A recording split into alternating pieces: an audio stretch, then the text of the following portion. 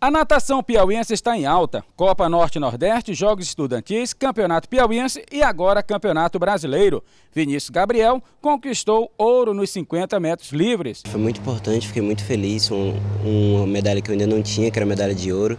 E é isso aí, vou continuar treinando aí para os próximos anos, conquistar várias medalhas aí para o Piauí. O nadador piauiense conquistou os 50, treinando em piscinas de 25 o que já mostra superação e principalmente muita dedicação. Sempre com dedicação nos treinos, é, todos os dias, diariamente, da, tivemos esse bom resultado e vamos continuar isso aí. Dedicação que conta com o apoio total da família. O meu tempo dedicado ao Vinícius é o, é o tempo todo, entendeu?